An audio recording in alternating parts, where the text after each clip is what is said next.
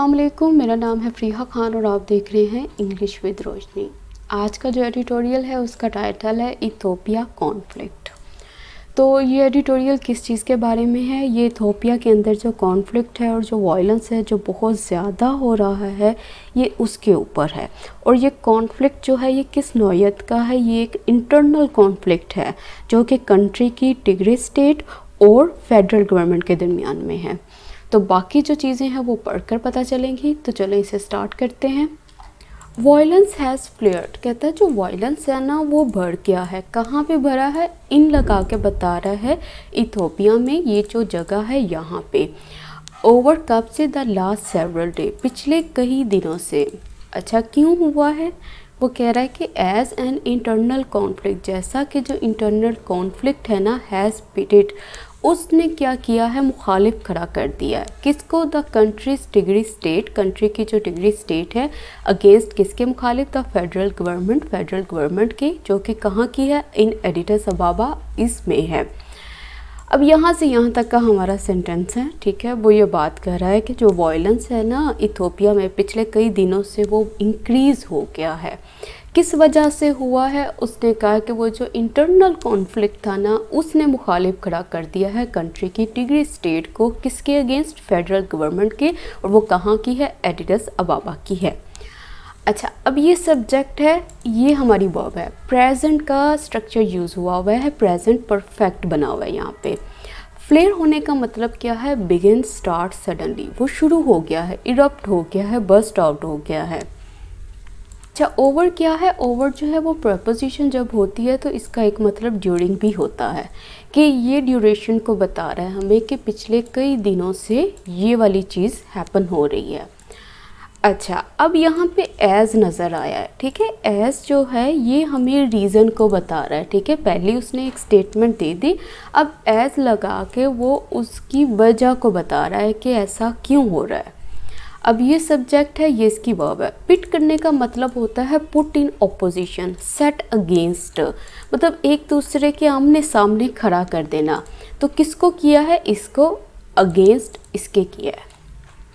अच्छा एडिटस अबाबा मतलब कैपिटल जो है वो इथोपिया का, उसकी बात कर रहा है। वाइल जबकि द पार्टी पार्टी कौन सी पार्टी दैट कंट्रोल्स टिग्रे को जो कि कंट्रोल करती है टिग्रे को सेज वो कहती है इट हैज़ फायर्ड रॉकेट्स वो फायर कर चुकी है रॉकेट्स को कहाँ पे? Into a neighbouring state neighbouring state में। अच्छा अब वो कह रहा है अमेंसिटी इंटरनेशनल हैज़ ऑब्जर्व्ड ये जो चीज़ है ना, वो कह रहा है, ये जो अमेंसिटी इंटरनेशनल है, वो ऑब्ज़र्व कर चुकी है। किस चीज़ को? मास्कर एक बहुत ज़्यादा किलिंग को। अच्छा कौन सी किलिंग कहता है इन्वॉल्विंग जिसमें शामिल हैं स्कोर्स तदाद एंड लाइकली हंड्रेड्स कहता हंड्रेड्स तो होंगे ऑफ़ पीपल लोगों की। हैज़ ऑकर्ड ये जो मैस्कर है, ये ऑकर्ड हो चुका है हैपन हो चुका है। कहाँ पे हुआ है? इन द टाउन टाउन में। टाउन किसका है? ऑफ़ माइकाट्रा माइकाट्रा के। अच्छा अब वो ये बात कर रहा है, कह रहा है, जो पार्टी है ना कौन सी पार्टी जो कंट्रोल करती है टिग्रे को, वो कहती है कि ये फायर कर चुके हैं रॉकेट्स को अपनी नेबरिंग स्टेट में और ये जो अमेस्टी इंटरनेशनल है, जो नॉन गवर्नमेंटल ऑर्गेनाइजेशन है, जो फोकस्ड करती है ह्यूमन राइट्स पर उसने ऑब्ज़र्व किया है कि बहुत बड़ी तादाद में किलिंग हुई है, बहुत बड़ी तादाद में इंसानों को मारा गया है और ये जो मास्कर है, ये हैपन हुआ है कहाँ पे? माइक काड्रा में। मैसका, इसका मतलब क्या होता है? Killing of large numbers of people mass killing मतलब बहुत बड़ी तादाद में किलिंग का होना, लोगों को मारना। ये सब्जेक्ट है, ये उसकी वर्ब है, यहाँ पे भी प्रेजेंट परफेक्ट का स्ट्रक्चर इस्तेमाल किया गया है। और ये सब्जेक्ट ये इसकी वर्ब है, यहाँ पे भी प्रेजेंट परफेक्ट ही इस्तेमाल हुआ है। अच्छा अब यहाँ से यहाँ तक हमारा सेंटेंस था, ठीक है? इसमें उसने क्या किया है? एक सब्जेक्ट है, फिर दूसरा सब्जेक्ट है। अब ये जो सब्जेक्ट है, इसकी वर्ब पड़ी हुई है यहाँ पे, और ये जो सब्जेक्ट है, इसकी वर्ब पड़ी हुई है यहाँ पे।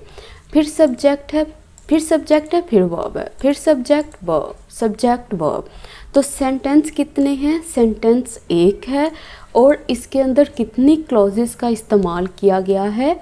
एक, दो, तीन, चार और पाँच क्लॉजेस का। वॉयलेंस रिस्क कहता है, जो वॉयलेंस है, वो खतरे में डालता है। डीस्टेबलाइजिंग इथोपिया इंटरनली ऐसी इथोपिया को जो कि वीकन है जो कि बिल्कुल इम्पेयर है इंटरनली तौर पर एंड ऑल्सो वो रखता है हैज़ द पोटेंशियल कि वो इतनी ताकत रखता है to spread to the rest of East Africa कि वो फैल जाएगा बाकी के ईस्ट अफ्रीका में।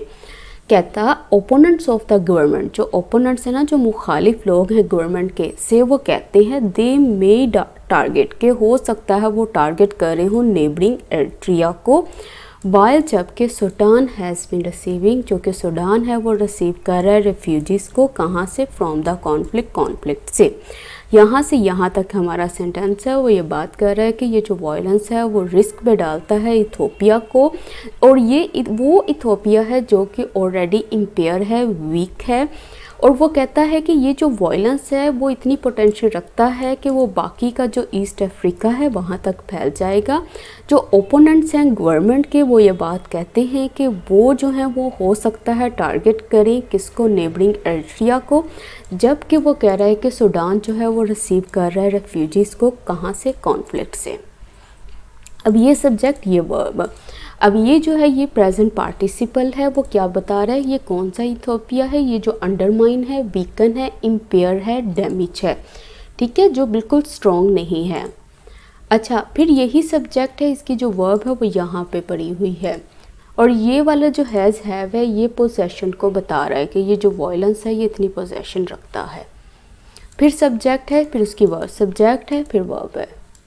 डिफ्यूजिंग द इंटरनल क्राइसिस कहता है डिफ्यूज़ करना, मध्यम करना इंटरनल क्राइसिस को विल भी हो सकता है। मेजर टेस्ट एक बहुत बड़ी आजमाइश किसके लिए?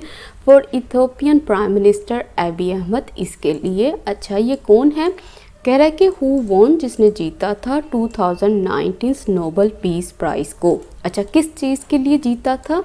फॉर हिज पीस एग्रीमेंट उसका जो पीस एग्रीमेंट था किसके साथ? एर्ट्रिया के साथ, इसके साथ।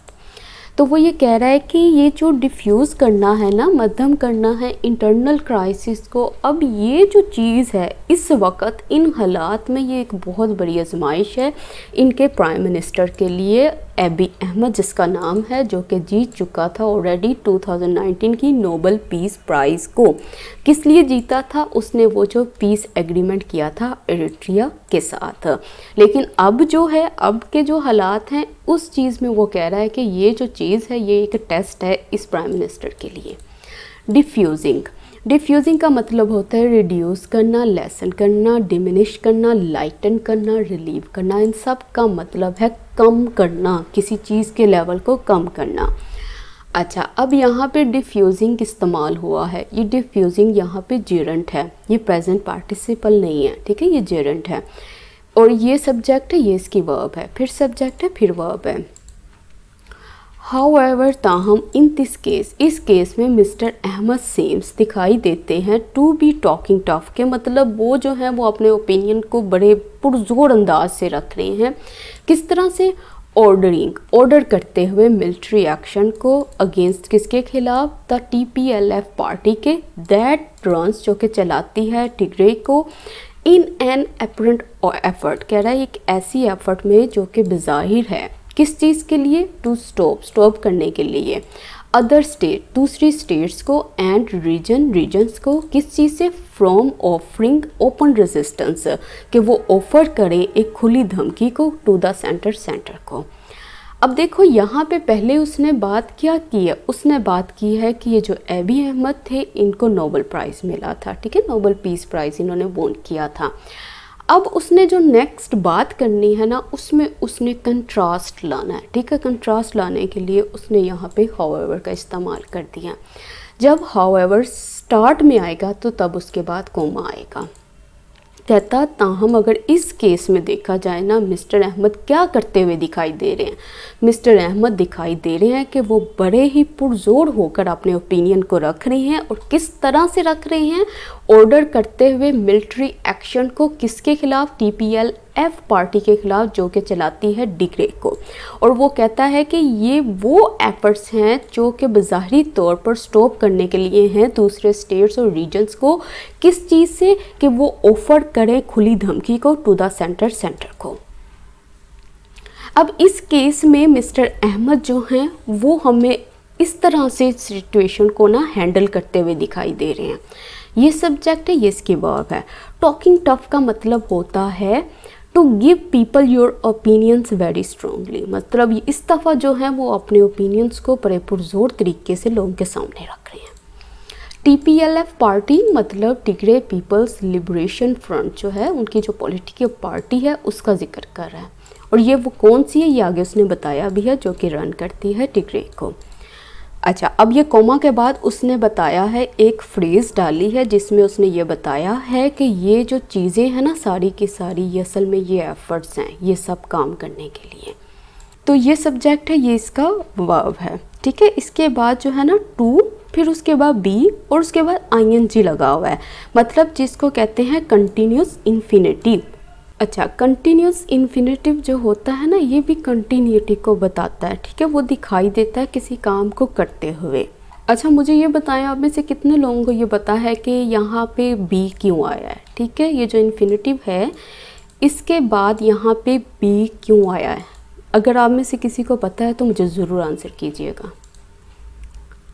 वाइल जबकि the Ethiopian authorities have insisted कहता है ये जो इथोपियन अथॉरिटीज़ हैं, वो इंसिस्ट कर चुकी हैं। This is an internal matter ये तो इंटरनल मैटर है कहता दे शुड नॉट रिफ्यूज़ उनको रिफ्यूज़ नहीं करना चाहिए द गुड ऑफ़िस को और वो किसके हैं? यूएन के और द अफ्रीकन यूनियन के। अच्छा वो कौन से हैं? उसने कहा दैट कैन बी यूज़ जो कि इस्तेमाल किए जा सकते हैं डिफ्यूज़ करने के लिए, मध्यम करने के लिए क्राइसिस को। तो वो कह रहा है कि जहाँ इथोपियन अथॉरिटीज़ इस बात पे इंसिस्ट करती है ना कि इंटरनल मैटर है, वहाँ पे उनको क्या करना चाहिए? उनको रिफ्यूज़ नहीं करना चाहिए गुड ऑफ़िस को, जो कि यूएन के और अफ्रीकन यूनियन के हैं, जो कि यूटिलाइज़ किए जा सकते हैं यूज़ किए जा जा सकते हैं डिफ्यूज़ करने के लिए क्राइसिस को। अच्छा ये सब्जेक्ट है, ये इसकी वर्ब है। फिर सब्जेक्ट है, फिर वर्ब सब्जेक्ट वर्ब ठीक है? कैन बी यूज़ मतलब मॉडल का पैसिव स्ट्रक्चर बना हुआ है। आफ्टर ऑल कहते हैं इन सब के बाद स्टेबिलिटी हैज़ कम स्टेबिलिटी जो है वो आ चुकी है टू द कंट्री कंट्री को आफ्टर मच टर्मोइल बहुत बड़ी टर्मोइल के बाद डिसऑर्डर के बाद. तो ये सब्जेक्ट है, ये इसकी वर्ब है. टर्मोइल का मतलब होता है disorder chaos disturbance the 1980s were a turbulent time कहता है जो 1980 का टाइम था, वो क्या था? टर्बुलेंट टाइम था, कोई खुशगवार वक्त नहीं था. ठीक है स्पेशली ख़ास तौर पर वो कह रहा है under the Marxist Derg regime इसकी रजीम के अंदर विच सो जिसने देखा सिविल वॉर को एज वेल एज और साथ ही साथ किसको कॉन्फ्लिक्ट को, किसके साथ एरिट्रिया के साथ, और उसने क्या देखा? अ डेवस्टेटिंग फैमिन मतलब एक बहुत ही ज़्यादा तबाहकुन कहत साली को देखा। तो वो कह रहा है 1980 का टाइम तो बहुत ही ख़राब था, कहता, ख़ास तौर पर इसकी रजीम के अंदर, जिसने देखा सिविल वॉर को और साथ ही साथ कॉन्फ्लिक्ट को एरिट्रिया के साथ, और क्या देखा उसने? एक बहुत ही, जिसको कहते हैं बहुत ही सब किस्म की कहत साली वो भी इसने देखी थी। तो ये सब्जेक्ट है, ये वर्ब है। टर्बुलेंट टाइम होता है ठीक है, ये सिचुएशन भी हो सकती है टाइम भी हो सकता है। इसका मतलब होता है जिसमें बहुत ही ज़्यादा सडन चेंजेस आती जाएँ, ठीक है? सडन अगर सिचुएशन है, कुछ आर्ग्यूमेंट्स आते जाएँ वायलेंस जो है ना, वो बढ़ता जाए, ये जो सारी सिचुएशंस हैं ना, जिसमें इस तरह की चेंजेस आएँ तो वो जो वक्त होता है, वो टर्बुलेंट टाइम होता है। फिर सब्जेक्ट है, फिर वर्ब है। फेमिन का मतलब होता है लैक ऑफ़ फ़ूड मतलब कहत साली भी जिसको बोलते हैं। टू एनश्योर कहता पक्का करने के लिए। किस चीज़ को? दैट ये कि दिस पेनफुल हिस्ट्री कहता ये जो पेनफुल हिस्ट्री है ना डजेंट रिपीट इट ये अपने आप जो है ना, ये दोबारा रिपीट ना हो। The Ethiopian prime minister must take the lead कहता अब जो इथोपियन प्राइम मिनिस्टर है ना, इसको शुरुआत करनी चाहिए एंड इनवाइट हिज ओपोनेंट्स अपने ओपोनेंट्स अपने मुखालफिन को इनवाइट करना चाहिए। कहाँ पे इनवाइट करना चाहिए? टू द निगोशिएटिंग टेबल इस टेबल पे, बातचीत की टेबल पे इंस्टेड ऑफ़ बजाय किसके लुकिंग फॉर के, वो तलाश करे, किसको विक्ट्री को, कहाँ पे ऑन द बैटल फ़ील्ड मतलब जंग के मैदान में। अच्छा अब वो कह रहा है कि पक्का करने के लिए ना कि ये पेनफुल हिस्ट्री दोबारा रिपीट ना हो तो इथोपियन प्राइम मिनिस्टर को क्या करना चाहिए? उसको शुरुआत करनी चाहिए लीड लेनी चाहिए और इनवाइट करना चाहिए ओपोनेंट्स को बातचीत की टेबल पे, बजाय इसके कि वो विक्ट्री को तलाश करें जंग के मैदान में। ये सब्जेक्ट ये वर्ब ये सब्जेक्ट ये वर्ब टेक द लीड का मतलब होता है ना, किसी चीज़, कोई काम है तो उस, अगर उसमें कहे ना कि फला बंदा जो है वो टेक द लीड करे तो उसका मतलब है to be the first to start doing something कि फ़र्स्ट होना, पहल करना किसी काम को स्टार्ट करने में। अच्छा must take must invite in a multi ethnic and multi religious state like Ethiopia वो कह रहा है कि एक ऐसी स्टेट में, ठीक है, जो कि मल्टी एथनिक भी है और मल्टी रिलीजियस भी है। किसकी तरह? इथोपिया की तरह। द यूज़ ऑफ़ फोर्स, कहता है, यूज़ करना, फोर्स का मे ब्रिंग वो ला सकती है। मतलब चांसेस हैं कि वो लेकर आएगी टेम्पोरेरी रेस्पाइट को। मतलब वक्ती तौर पे एक राहत मिल जाएगी। बट टेंशंस कहता वो जो टेंशंस है ना, कौन सी टेंशंस बबलिंग अंडरनीथ मतलब जो कि ग्रो हो रही हैं मी वेल एक्सप्लोड वो एक्सप्लोड हो जाएँगी इन ड्यू कोर्स जब भी उसका सही वक्त आएगा।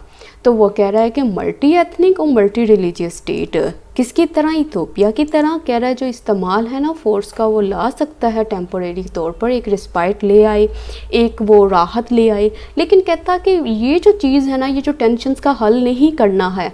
ये जो चीज़ है और ये वो टेंशन्स हैं जो कि बिल्कुल इकट्ठी हो रही हैं। कहता वो किसी भी टाइम पे एक्सप्लोड कर जाएँगी और जब उनका टाइम जो होगा ड्यू होगा मतलब राइट होगा।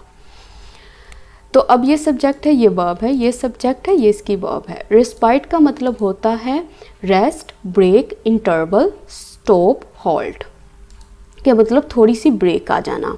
ड्यू कोर्स का मतलब है when it is the right time जब वक्त सही है।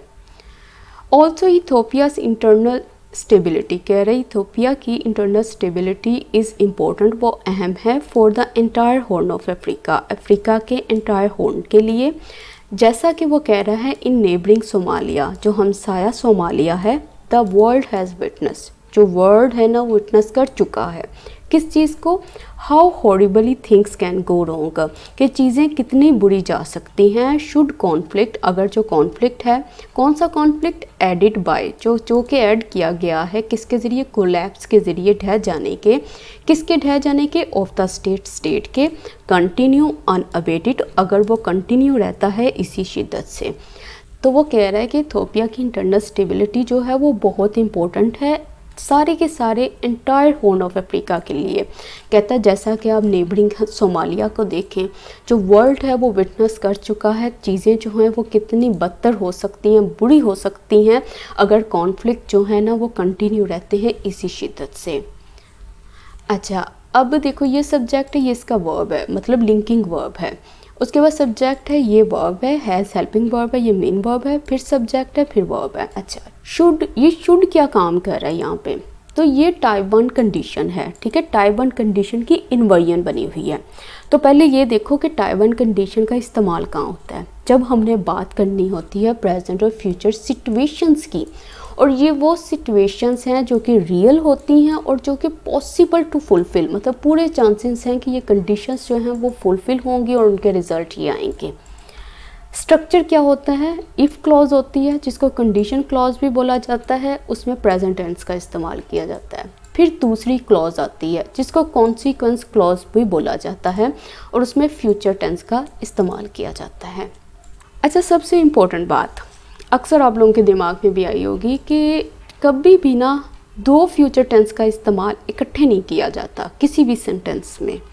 रीज़न क्या है? रीज़न ये होता है कि जब हम इफ़ कंडीशन लगाते हैं ना तो उसके बाद अगर हम यहाँ पे भी फ्यूचर टेंस की बात कर दें और यहाँ पे भी फ्यूचर टेंस बता दें ना तो ये दोनों की दोनों जो होंगी ना, ये बिल्कुल अनरियल सिचुएशंस हो जाएँगी। हमें ये वाली सिचुएशन नहीं क्रिएट करनी। जब हम यहाँ पे प्रेजेंट टेंस का इस्तेमाल करते हैं तो हम क्या करते हैं? हम उस सिचुएशन को ना, हम सबसे पहले रियल बनाते हैं। और फिर हम कंसिडर करते हैं कि जब ये सिचुएशन बिल्कुल रियल होगी तो तब उसका रिज़ल्ट क्या निकलेगा, तब उसका रिज़ल्ट ये निकलेगा और उस रिज़ल्ट को बताने के लिए हम फ्यूचर टेंस का इस्तेमाल करते हैं। और यही रीज़न है कि किसी भी एक सेंटेंस में दो फ्यूचर टेंस जो हैं, वो साथ नहीं आते। अब ये देखो। इफ़ यू वर्क हार्ड अगर तुम वर्क हार्ड करोगे you will pass the exam तुम पास कर लोगे एग्ज़ाम को। मतलब सही चांसेस हैं कि अगर आप कोई स्टूडेंट हैं, आप स्टूडेंट हैं और मैं आपसे कहती हूँ कि आप वर्क हार्ड करोगे तो पूरे चांसेस हैं कि आपको ये वाली जो है ना कॉन्सिक्वेंस मिले। तो बिल्कुल सही बात होगी, यहाँ पे टाइप वन कंडीशन जो है बिल्कुल सेट बैठ रही है। अब इसी कंडीशन का इन्वयन बनाना है। तो इन्वयन कैसे बनाना है? उसके लिए शुड लगा दिया जाता है इफ़ की जगह पे। शुड यू वर्क हार्ड अगर तुम मेहनत करो you will pass the exam तुम एग्ज़ाम को पास कर लोगे। तो यही सारी की सारी चीज़ जो है वो यहाँ पे की गई है। कैसे की गई है? मतलब वो कह रहा है कि इफ़ कॉन्फ्लिक्ट कंटिन्यू अगर जो कॉन्फ्लिक्ट है वो कंटिन्यू रहता है तो थिंग्स जो हैं वो बहुत बदतर हो सकती हैं। तो इस तरीके से ये सारे का सारा सेंटेंस बना हुआ है। अच्छा आज का एडिटोरियल कंप्लीट हो गया है लेकिन मैं आपको ये बताऊँ इंग्लिश में और भी बहुत सी चीज़ें हैं जो सीखने वाली हैं, लेकिन आप ना तो वीडियो को शेयर करते हो, ना तो उसको लाइक करते हो। तो एक तरह से ये एक छोटी सी स्पोर्ट होती है, ठीक है, जिसके लिए मैं बोलती हूँ कि वीडियो को लाइक भी किया करो और शेयर भी किया करो, ताकि ज़्यादा से ज़्यादा कंटेंट आपके सामने लाया जाए। तो अगर आपको वीडियो अच्छी लगे तो अपना फ़ीडबैक देना मत भूलिएगा। इसके साथ ही मुझे इजाज़त दें। अल्लाह हाफिज़।